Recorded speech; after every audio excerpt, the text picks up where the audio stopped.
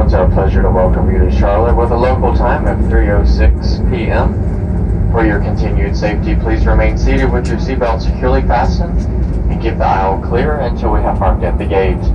The captain will turn off the fasten seatbelt sign when it is safe for us to stand. Please use caution when opening the overhead compartments since articles may have shifted during the flight. The use of cell phones is now permitted. For those of you holding a connecting reservation here in Charlotte, we encourage you to proceed directly to your connecting gate. Also, double check those airport monitors for updated flight and gate information. Don't forget that you can visit AA.com at this time from your mobile device to view